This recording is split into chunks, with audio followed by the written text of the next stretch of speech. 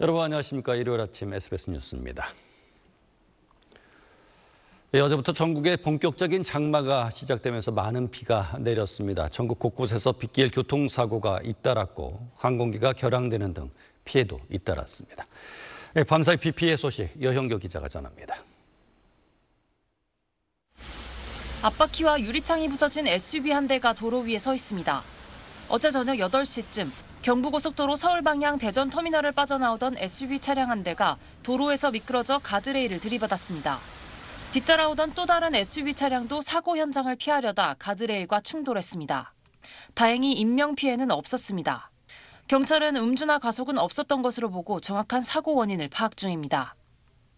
어젯밤 11시쯤 충북 청주시 서원구 경부고속도로 부산 방향 신탄진 나들목 인근에선 SUV 한 대가 빗길에 미끄러지며 전도됐고 어제 저녁 6시쯤 부산 사상구 강변도로에선 2차선 도로를 달리던 5톤 화물차가 가로수를 들이받았습니다.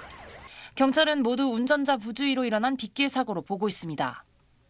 사고가 난 부산 사상구에는 어제 한때 40mm 이상 비가 내려 호우경보가 발령됐고 모두 18건의 강풍 폭우 피해 신고가 접수됐습니다.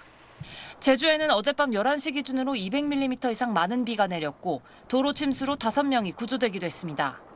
행정안전부에 따르면 어젯밤 11시 기준 인명피해나 시설 피해는 없었지만 강풍의 영향으로 항공기 53편이 결항됐고 18개 국립공원의 진입이 금지됐습니다. 장마 전선이 북상하며 수도권에도 한때 시간당 20에서 30mm 집중호우가 쏟아졌는데 어젯밤 11시쯤 서울 중랑구 중화동 한 주택가에선 담벼락이 무너져 도로가 3시간 넘게 통제되기도 했습니다. SBS 여영규입니다.